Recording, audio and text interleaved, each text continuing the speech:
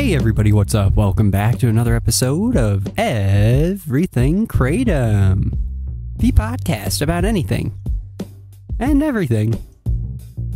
Kratom. Great to have you with us on this Friday morning. Hope your week went well, and welcome to season nine. Woo! Awesome, awesome. So today it's going to be a brief one because I got to get to a meeting soon for my job. but um, very briefly, I wanted to talk about how Kratom helps me when I'm trading stocks. I don't have much money, and full disclaimer, I don't think anyone should be following my advice, and this isn't advice. So don't do anything. Like, I'm not telling you to trade stocks, I'm not telling you to take Kratom. No liability here. Don't even listen to me. Turn this off. but Okay, with all that in mind, I don't have much money like to, to put into the stock market, but I, I put a little bit in because I do want to know how to do it. I think it's important.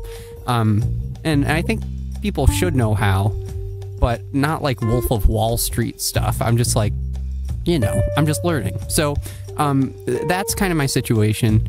And obviously, I have a daughter, so I don't want to like gamble her future away or anything like that, nor will I.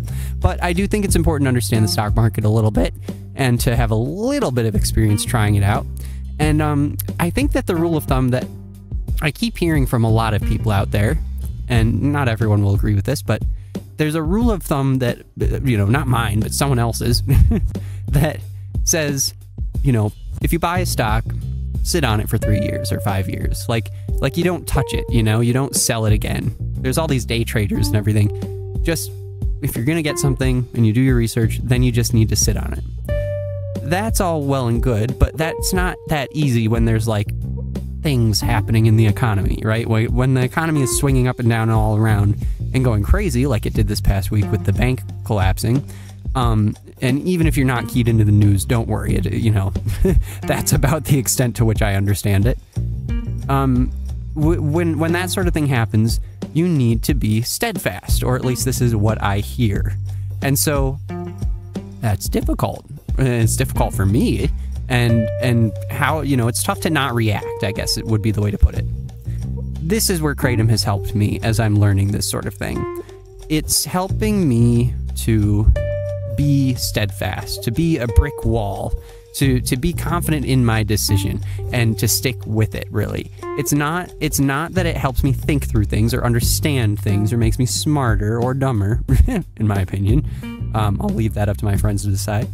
But what it does is it puts me at a sense of ease and calm and I don't know. Kratom helps me feel like I am the captain of my own ship when I'm having trouble seeing myself that way or the, the person driving my car, you know? Like, it puts me in the driver's seat. And so when I do get a stock and then the world goes nuts, like it has this past week, Kratom, I find, helps me when I'm like considering decisions or doing things or just thinking about decisions I've made instead of making me smarter or making me change my decision or dumber or whatever, it just keeps me at ease. It makes me think, you know, uh, it helps me to think, wow, you know, I, this is a crazy world. Things are going up and down. Let's stick with it.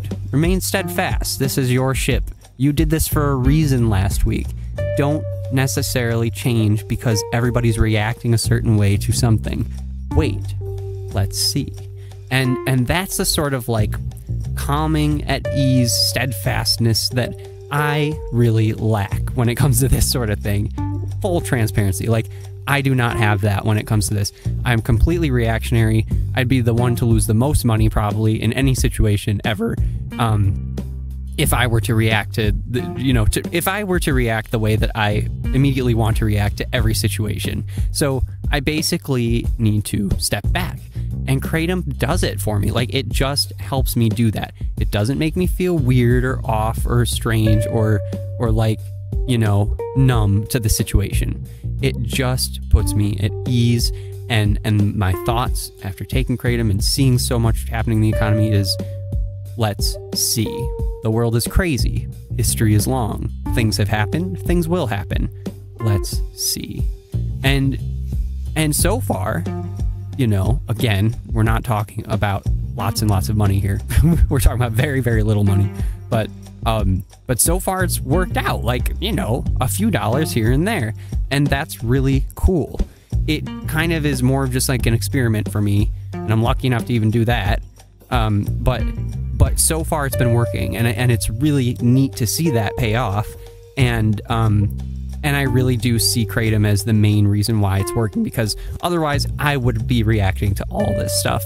I am not a strong willed, like stock harsh wolf investor at all, and I never will be, I don't think. But Kratom certainly helps me get through the sort of weeks or moments when it's like this, and um, certainly grateful for that. I think I'm going to do a more detailed episode about all this and give you some examples next time, but I don't really have the time today, so I'm not going to get into it now. However, stay safe out there. Don't take any of this as financial advice or medical advice. And, um, you know, stay cool. Be cool. You're amazing. Be steadfast. Be the captain of your ship. and we'll be back on Monday. Have a great weekend, everyone. Thanks so much for listening. You guys are great. You helped me through a tough week this week and it meant a lot. So thank you. All right, everyone. Take it easy. Talk to you on Monday. Bye bye.